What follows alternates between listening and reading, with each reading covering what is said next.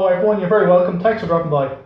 Okay, so more paramotor stuff. Uh, I'm sure you're getting sick of it, but I still have to get it done. So I thought I'd do some video of it. But here's the deal anyway, look. Um, I have it mounted. I'll show this in a second, but uh, I have it hanging and I'm going to do a hang test.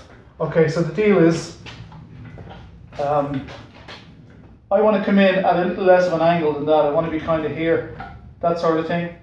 And that'll be good because then the back wheels touch first and then the front wheel down. Obviously, if it was too far back this way, it would just tip over on landing. But um, so I made a bit of a rig. Uh, I'm not sure if you can see it in a minute. I'll, I'll, uh, I'll get to that in a minute. But anyway, I made a bit, bit of a rig. This is a block and tackle to lift it up off the ground. Uh, this weighs about 40 kilos and 16, so about 50 odd kilos, 56 kilos, something like that, as it is, plus my weight obviously, and I'm about 85 kilos. So it's only, it's hanging, but it needs me because I'm obviously going to change the center of gravity a bit when I get in. So that's it, it's in the air. I painted it, I had some black paint in a tin, you know, an aerosol, and uh, I just went over it, quick sanding and painted it. So like it's not painted with love, it was just painted because I had stuff there. So I'm just going to get in. Okay. Now obviously on the ground, this would be a bit different. But that's my setup now. Okay, and it looks to me, or feels to me to be good anyway. Um, it's not too high. Now I can adjust it by moving these, you know, forward and back along this.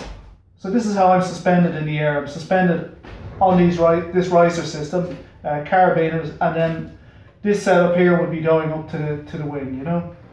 But uh, you can see it change even if I put my feet more forward, my center of gravity changes, or if I move forward in the seat, you can see. So, uh, and the angle of the prop is very good. It's, it's actually vertical um, in flight, or best part of it. Um, so that's it. That's uh, my paramotor trike. It's actually ready for a flight now. So, but before I do that, the plan is to um, is to take it around the field again um, and make sure everything is okay. Um, I, I adjusted these bars yesterday and I had a quick drive around the garden, but I haven't taken it into the uh, into the field yet. Uh, you know, the, the theory is like if it lasts, you know, 10 minutes in the field, bopping around and bouncing around, I won't be going too fast on it. Um, but if it lasts 10 minutes in the field, you know, bop, bop, bop, bop, nothing, you know, structural happens, nothing drops off well then you know I'll uh, I'll take it up. But uh, I plan after I try this out in the field, which will be this evening. Uh, I plan the next one then is going to be down the beach again, ground testing. Um, there's a lovely beach nearby, and I'm going to give that a shot. Um, and then after that, again this week, um, I'll replace this rig with um, you know with the wing, and I'll put the wing behind it, start up, and go. So look, I'll show you this, this uh, setup. Okay, so I just, this is a block and tackle and I have it suspended up in the rafters. Um, this is just a spreader bar. Uh, it's actually a lump of disc that I had left over and I just ran the rope through it. And it was just so that, you know, these would be, uh, would mimic more what happens in, in operation because when I fly, they do get pulled apart a bit.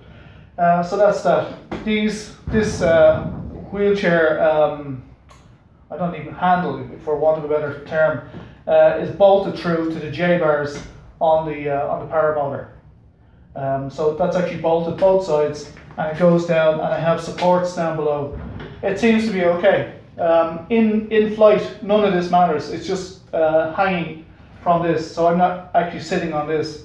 It's just supported um, from the bars and so on.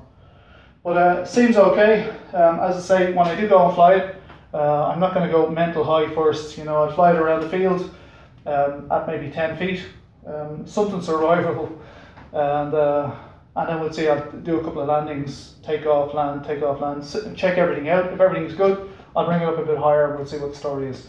But for now, anyway, for this evening, uh, it won't be connected to a wing. I'll just bring it into the field and uh, and check this out. So that's it for now. That's your update. So if you liked the video, please like, comment, share, subscribe. Uh, thanks for all the support, and I'll see you in the next video. Bye for now.